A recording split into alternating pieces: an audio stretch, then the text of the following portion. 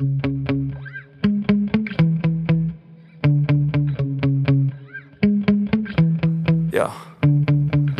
Sometimes I get so mad, there's no controlling me. My thoughts get so bad, I'm like I might grab a bat, I don't know. My wrath, my blood boils over like Oh God, here goes. I lost all feeling from my head to my toes. You said some shit that I can't let go So just stay tuned for the rest of the show So have you ever felt betrayed? Switches how you see things Realize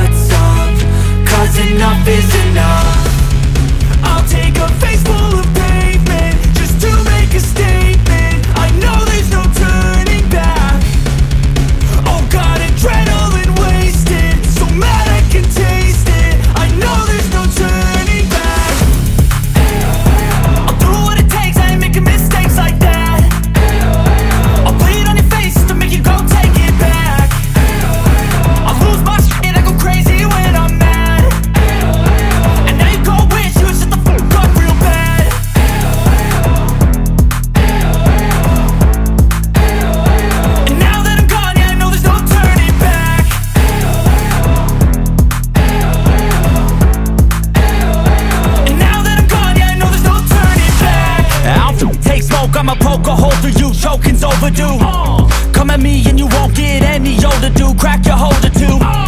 Heating up inside of me, blood so violently, thanks for trying me. Now it's finally time to see how this rivalry becomes my dynasty